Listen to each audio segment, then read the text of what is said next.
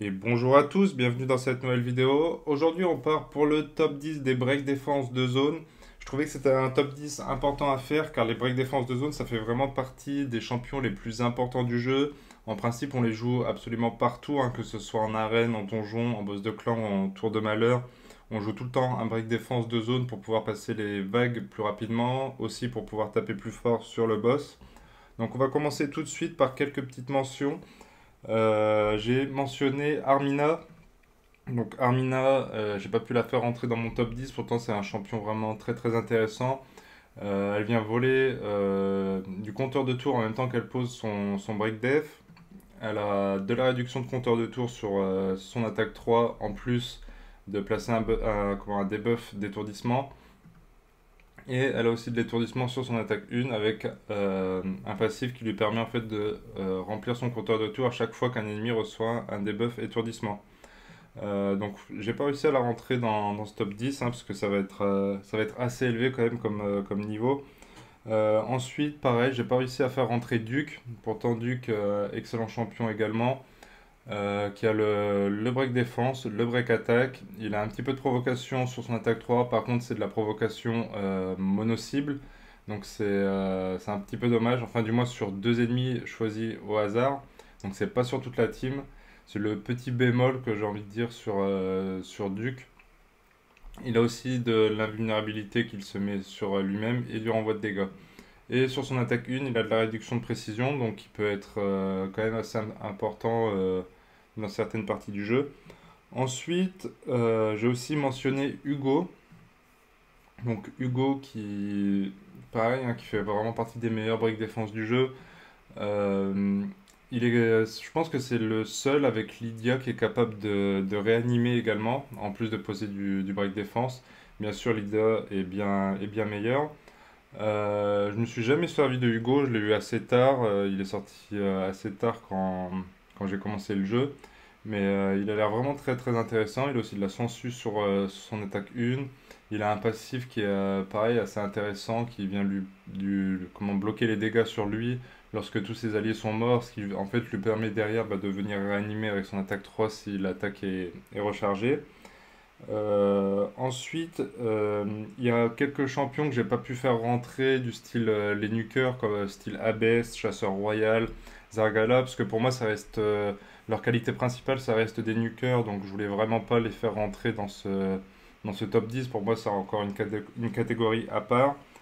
Euh, ensuite, il y a un champion assez récent euh, qui est Malabar de siège. Euh, lui, je pense que c'est mon 11e, hein. c'est vraiment celui qui est venu toquer à la porte. Il est vraiment très très très intéressant. Il vient réduire la défense sur son attaque 3 avec un cooldown de 3 tours une fois full book. Bien sûr, c'est du 100% il se pose l'augmentation d'attaque sur lui. Mais ce qui est super intéressant avec lui, en fait, c'est qu'il vient augmenter l'autocrit, le dégât crit, et il vient poser de la réduction de vitesse, et tout ça sur un cooldown de 3 tours, donc c'est vraiment très très fort. Et en plus de ça, avec son attaque 1, il vient euh, réduire le compteur de tours de 15% de la cible lorsque l'ennemi se trouve sur euh, réduction de défense ou réduction de, vitesse. Pour moi, j'ai pas pu le faire rentrer parce que euh, en fait, il a un problème d'affi, je trouve, euh, par rapport à ce qui, euh, par rapport à ses sorts. C'est le type de sort en fait qui est super fort pour, euh, par exemple, le chevalier de feu, venir constamment réduire le compteur de tours et poser une réduction de vitesse. Mais le problème, c'est que pour le chevalier de feu, bah, en fait, c'est tout simplement pas la bonne affi. Pour l'étape 20 du chevalier de feu, et on a tendance à farmer sur l'étape 20. On peut aussi farmer sur l'étape 25, mais en principe, arriver à cette étape, on se sert d'autres champions euh, style Nespectre ou, Lydia. Je crois qu'on a fait à peu près le tour euh, au niveau des mentions. Donc on va partir tout de suite dans ce top 10. Donc en dixième, j'ai mis euh, Terrell. Donc Terrell, pour moi, c'est un des champions les plus polyvalents. après, même un peu la même histoire que ce qu'on vient de voir avec Malabar. pas la bonne affi pour le Chevalier de Feu. Ça, reste son, petit point faible. Par contre, je le trouve un petit peu plus polyvalent parce qu'il va être très fort pour le, boss de clan. Quand, on n'a pas encore des teams intuables, bah on a en fait euh, l'aura de, défense sur, euh, sur l'aura. Je sais pas pourquoi j'allais dire sur son attaque 4, mais non, c'est sur son aura, pardon. Il a un break attack sur son attaque 1, donc ça c'est très intéressant. On va venir constamment en fait poser la réduction d'attaque sur le, sur le boss de clan. Il a son break défense de zone. En plus de ça, il vient poser un, un sommeil en fait si, la, si les cibles sont affligées d'une réduction d'attaque. Donc ça, ça peut être assez intéressant. Et il a aussi une réduction de compteur de tour qui est très intéressante, qui est de 50%. Et en plus de ça, si l'ennemi euh, a moins de si en fait son compteur de tours a été entièrement vidé, il va venir étourdir pendant deux tours. Et deux tours, c'est juste énorme. Hein. Il y a très très peu de champions qui, font ça. Ensuite, en 9 position, euh, j'ai mis Roxam. Donc Roxam qui fait partie des, des 4 champions qui posent du break, def et affaiblissement de zone. Ils sont que 4 dans le jeu. Pour moi, lui, c'est le moins bon parce qu'en fait, il demande des conditions assez particulières. Il a besoin d'avoir le, voile parfait qui est posé sur lui, contrairement aux trois autres qui vont le, poser directement. Donc ça demande une certaine condition. En plus de ça, je trouve que ses sorts à côté sont un petit peu moins, un petit peu moins bons. Lui, par contre, va taper plus fort que les autres, on va dire. Mais euh, par contre, ses, sorts à côté, ça reste, euh, ça reste plutôt des sorts pour, euh, pour, pour faire mal. Même s'il y a quand même de l'étourdissement sur son attaque 2, euh, sur son attaque 1, il va venir se poser le voile. Ça reste un excellent champion, hein, je ne suis pas en train de le critiquer, mais pour moi, c'est juste le moins bon break def et affaiblissement du, jeu. Parce que ça demande une certaine condition. Il faut soit avoir une Lilitu ou une réactrice à côté, à côté de lui. Ensuite, en huitième position, on va partir euh, au niveau des seigneurs avec euh, tout simplement Chevalier Serre. Donc Chevalier Serre, pour moi, il fait encore partie du top 10 des break def et, affaiblissement. Il est vraiment excellent. Donc il a le break défense et le break attaque. Ses sorts sont assez simples. Hein. Il a que break défense, break attaque. Par contre, il a la réduction de speed sur son attaque 1. Il a la bonne affi pour le chevalier de feu. En fait, c'est une sorte de mini seigneur tombeau sans les poisons. Mais à côté de ça, il reste vraiment excellent. Et en plus de ça, euh, si un ennemi, euh, enfin si euh, ouais, un ennemi résiste à un debuff allié, bah, venir, il va venir augmenter la précision sur, sur l'allié. Donc ça, c'est très bien quand on manque un petit peu de précision. Le premier coup, on va le rater. Bah, le second, forcément, normalement, on ne va pas le rater si on débute le jeu. Ça va bien aider en fait en termes de, précision, par exemple. Il est ultra polyvalent, on peut le jouer euh, quand on débute sur le, sur le boss de clan parce qu'on a le break attack et break défense. La réduction de speed qui, euh, est forte partout. L'affinité esprit qui fait que, sur, euh, que ce soit sur la, Spider 20 ou le Chevalier de Feu 20, bah, ça va marcher. Forcément, il a un peu plus de lacunes pour le, pour le dragon. C'est pas la, bonne affi pour le, pour le dragon 20.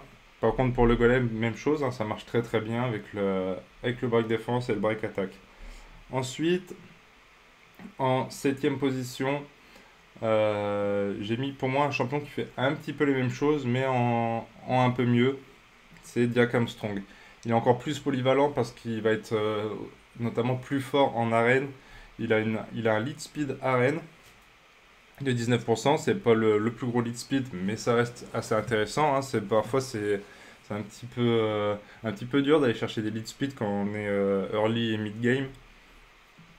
En plus de ça, il vient remplir le compteur de tours et baisser le compteur de tours des ennemis. Donc un peu comme, une, euh, comme si c'était un mini Lissandra. Mais derrière, il rejoue pour poser le break défense. Donc en fait, il fait tout tout seul. Vous, vous le mettez, ça vous fait votre boost de compteur de tours, votre lead speed et votre, euh, break défense. Donc c'est euh, à lui tout seul, il est capable de, remplacer deux champions en fait. En plus de ça, il a de la sensus sur l'attaque 1.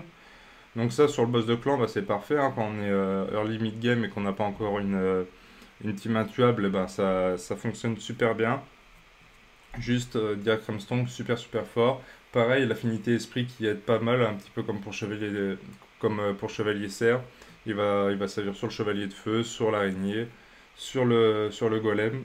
vraiment un excellent champion que je recommande à tous les, nouveaux joueurs. Et en sixième position, euh, j'ai mis Nespectre, car pour moi, il fait vraiment partie des meilleurs break défense du jeu, euh, notamment grâce euh, au fait ne se fasse jamais résister. Et ça, c'est tout simplement trop fort. Si vous avez la chance de l'avoir early game, eh ben, en fait, ce qui va, se passer, c'est que vous allez avoir un break défense sans avoir besoin de lui mettre les, les 220 de précision que je recommande à chaque fois pour, euh, les étapes 20 en donjon. Pareil pour les étapes inférieures et même supérieures. hein. parce que en fait, on ne met pas de précision sur Nespect, ça ne sert strictement à rien. Si ce n'est pour poser du break def ou euh, de la réduction de soins sur euh, son attaque 2.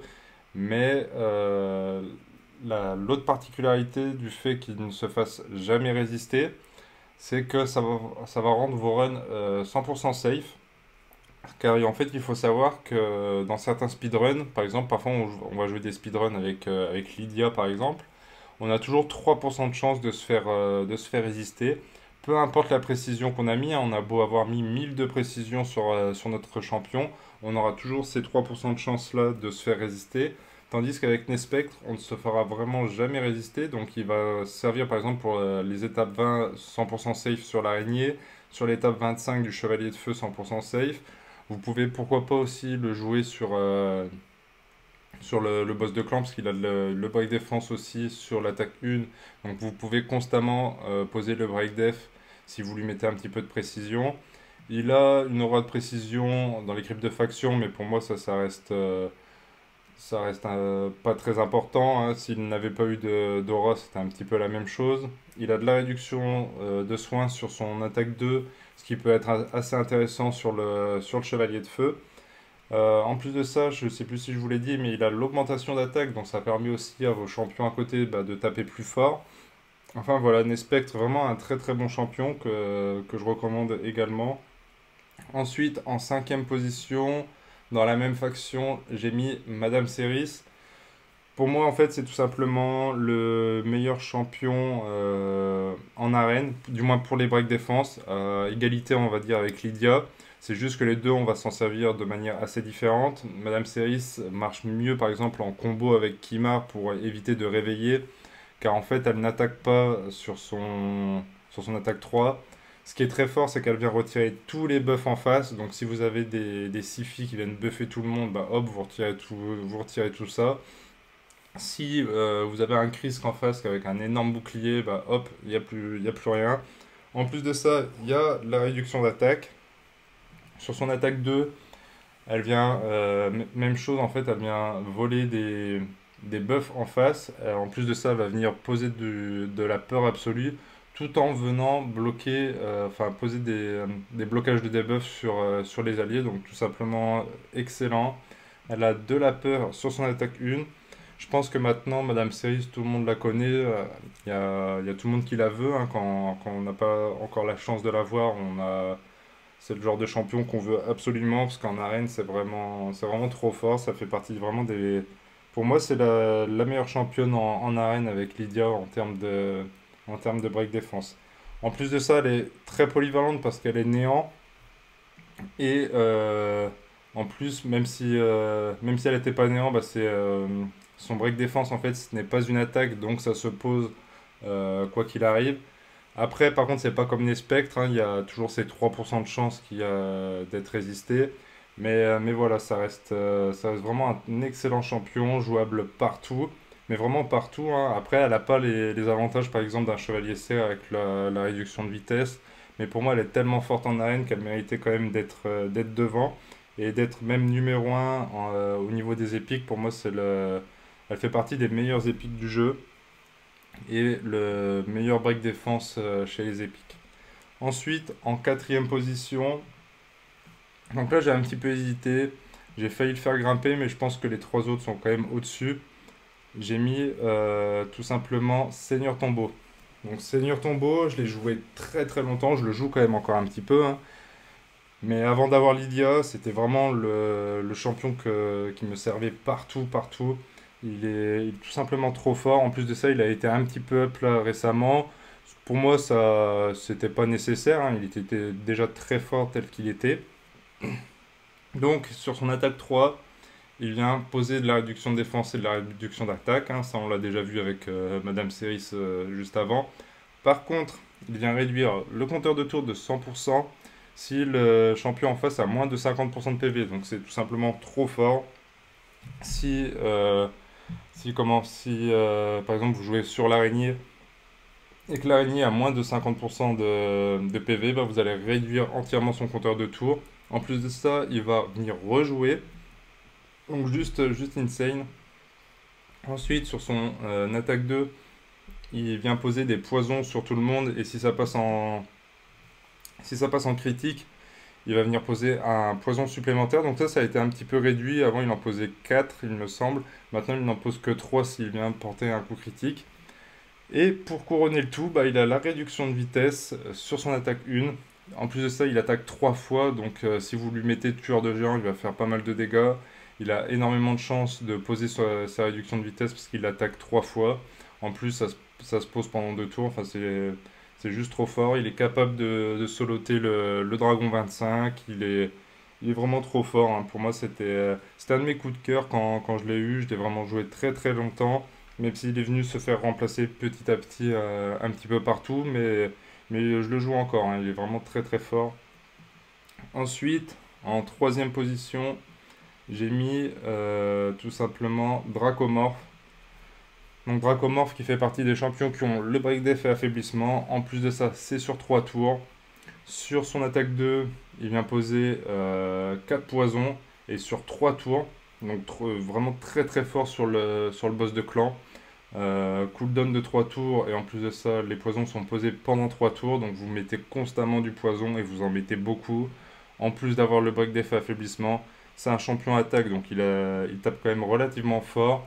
En plus de ça, ces dégâts sont pris euh, en fonction du nombre de debuffs dont, la la cible est affligée.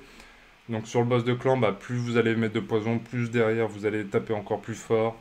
Euh, pareil, l'aura, on aurait pu s'en passer, on s'en fiche un petit peu pour les, pour de faction d'avoir 50, 50 euh, en plus, si ça peut toujours servir. Il fait partie des meilleurs champions pour le, pour le boss de clan. Il est également fort partout. Euh, des très bons combos à faire avec, euh, avec Xavia pour faire des speedruns en donjon. Tout simplement euh, un champion excellent.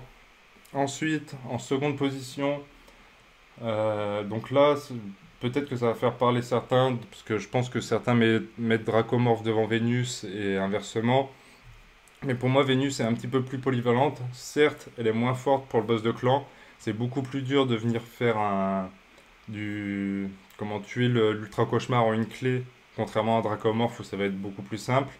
Par contre, elle a d'affinité néant, elle a de la brûlure euh, de zone sur son attaque 3, donc très fort pour l'araignée. Euh, le fait qu'elle soit néant, elle est vraiment jouable partout. Le break def affaiblissement sur 3 tours également. Euh, sur son attaque 1, elle a des poisons en plus, donc je trouve ça assez intéressant. Sachant que c'est un champion soutien, contrairement à Dracomorph où c'est un champion attaque. Euh, je vous ai dit, par exemple, sur le boss de clan, Dracomorph est meilleur. Oui, mais plutôt pour les teams unkill. Je trouve que pour les teams pas unkill, Vénus va être un, peu plus intéressante car plus facilement, elle va rester plus facilement en vie en fait, tout simplement. Enfin voilà, j'ai préféré mettre Vénus en deux. Après, vous de me dire en commentaire si vous préférez Vénus ou Dracomorph, mais, mais voilà. Ensuite, en numéro 1, je pense que vous l'avez compris. Euh, pour moi, ça reste le meilleur break def et affaiblissement du jeu. C'est Lydia. Donc en arène, comme je disais, euh, pour moi, c'est la numéro, la numéro 1 avec, euh, avec Ceris. Elles ont des trucs un petit peu différents. Elles sont pas jouables de la même façon. Mais c'est les deux champions qu'on joue en principe en arène en termes de, de break défense. Donc elle a le break def affaiblissement. Mais en plus de ça, elle vient poser un buff, un buff renforcé et augmentation de, speed. C'est le genre de sort qui marche super bien avec Cyr.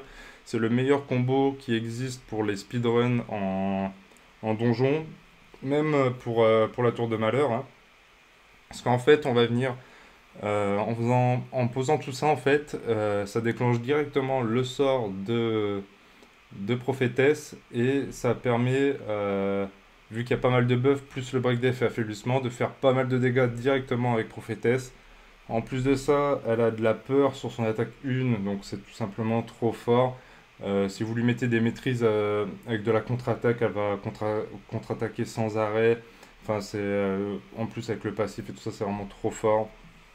Sur son attaque 3, elle vient bloquer les compétences du champion en face, bloquer les buffs, sensibilité au poison.